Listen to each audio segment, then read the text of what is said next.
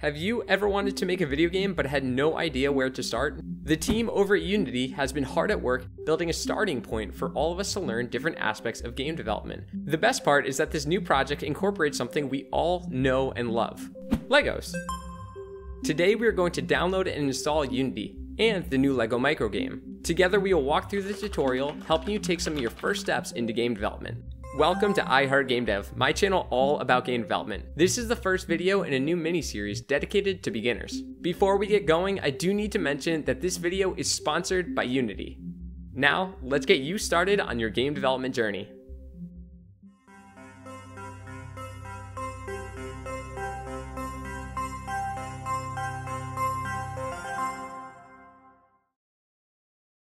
Let's begin today by downloading the necessary tools for development with Unity. Googling Unity Hub or using the provided link in the description, we'll find ourselves on Unity's website where we can download Unity Hub.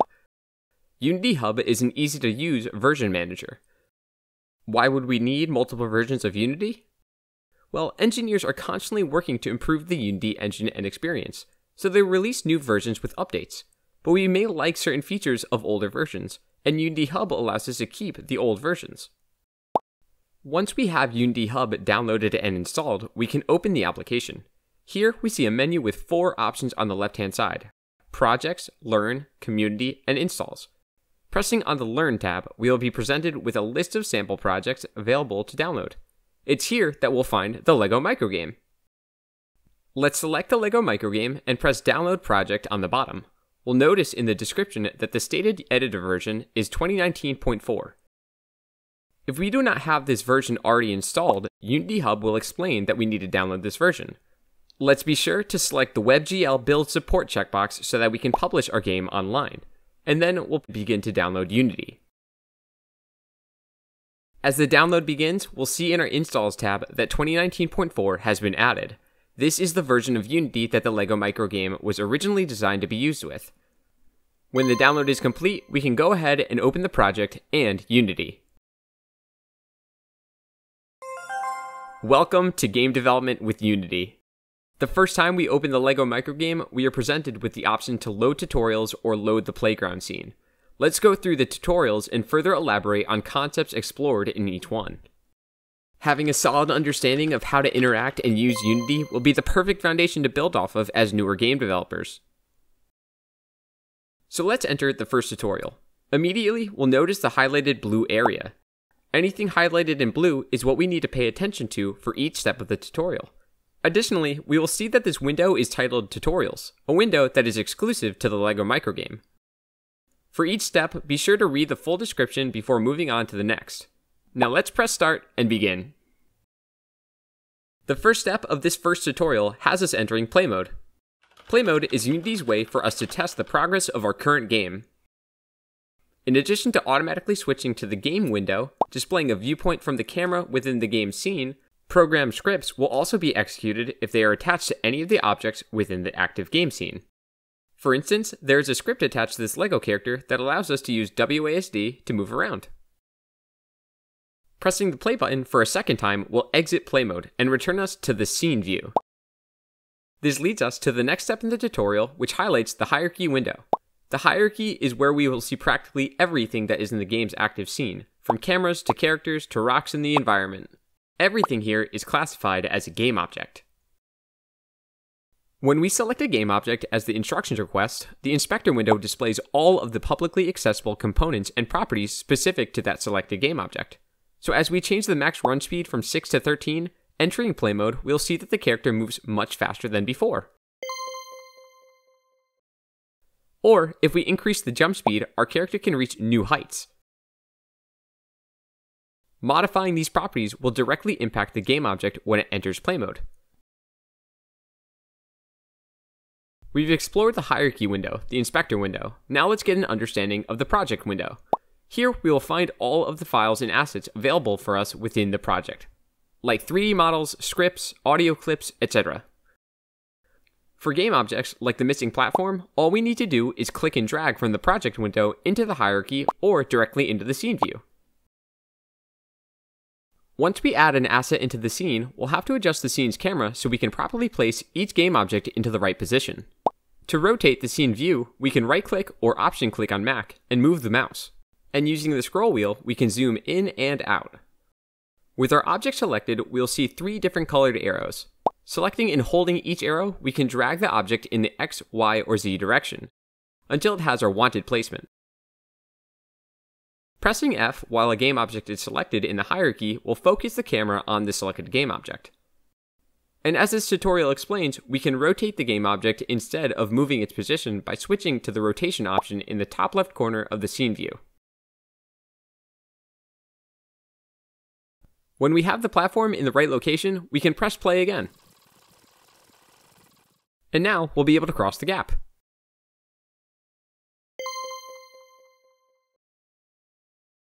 Okay, so we have a growing understanding of Unity's interface, how the editor is broken up into different windows and tabs, each with their own purpose. Let's keep going and learning from the next tutorials. Within the LEGO microgame project, we have the ability to use pre-made LEGO brick assets found in the project window called behavioral bricks. Each behavioral brick provides special functionality to whatever it is connected to. For this tutorial, we'll grab the elevator brick from the project tab and drag it onto the elevator on the scene view. But this isn't the only thing we need to do for the brick to function as we intended. Exclusive to the LEGO microgame are the LEGO tools options in the scene view. When the brick building mode is enabled, LEGO bricks snap together just like they do in real life. And when disabled, the LEGO bricks move around just like the platform did in the previous tutorial, that's typically how all assets are moved outside of this microgame. Additionally, we have the option to select connected LEGO bricks or each piece individually. Pressing play, we'll see that the platform now constantly moves up and down, and we can complete the game. But something really cool about behavioral bricks is that we can actually combine them. In addition to the elevator brick that we currently have connected, we'll drag the touch trigger behavioral brick and add it to the opposite side of the elevator. Now, the elevator will only rise when our character steps onto the platform. In this next tutorial, we'll take our first step in learning some of the fundamentals that help make a game accessible and fun, proper instructions, winning, and losing.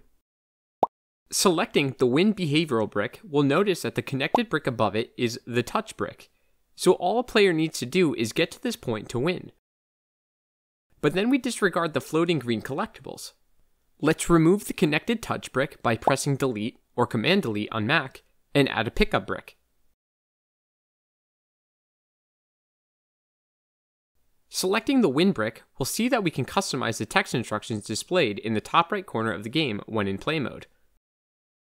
For our game, we want to make it clear that the player needs to collect all 13 of the collectible green bricks to win. So let's modify the text to get that point across.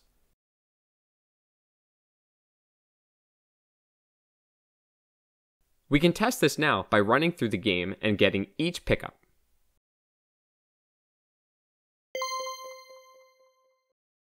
And to give the player their first sense of challenge, we can also add a way to lose. Selecting the lose brick and connecting it with a timer brick, we'll set a countdown until the lose brick is activated, and it's game over for the player. That is, unless they are able to finish the level before the timer runs out. But maybe we want an even tougher challenge, some type of obstacle, or an enemy. The microgame has us covered. Let's select and drag the Gato asset from the project window onto the platform and into the scene view. Simply adding this won't do much. So let's also connect the shoot behavioral brick. And entering play mode, we'll see that the character will now fire deadly bricks, but quite slowly and inaccurately. To fix these issues, we have the look at behavioral brick, which will turn our Gato character to face its target. And it just so happens that the target is our character. Something special about this brick is that it has to be rotated in a particular direction, we need the eye on the brick to face forward so that it rotates Gato correctly. But having it look at our character still wouldn't be enough. We'll also need to modify the velocity and the accuracy of the shoot behavioral brick. Testing in play mode, I think we found a sweet spot, where the character isn't annihilated immediately after entering play mode, but Gato still poses a threat to the player. Awesome! We're just about finished for today, but this last tutorial we'll cover showcases some of the fun creativity we can have with the LEGO microgame. Let's learn to blow stuff up. Connecting the explode brick to the fence, we'll set up a trigger to cause the fence to explode. We'll add the altar that's found in the stone structures directory in the project window, followed by the touch trigger behavioral brick. And we'll set the target of the touch trigger to specific actions. We'll keep the action size to 1 and select the explode action from the menu. Entering play mode and running over to our trigger, and voila! The fence explodes. You did it! You've made it through the primary tutorials of Unity's LEGO microgame. But this is just the start of the fun that can be had with the LEGO microgame, and just the start of your game development journeys. Awesome job today! In the next video, we'll take a closer look at the 21 LEGO behavioral bricks, and in the future, we'll harness our creative energy to build our own custom games and mods and share them with the Unity and LEGO communities. If you did like this video, be sure to like and subscribe, but that's all for today. Thank you so much for watching, and I'll see you in the next video.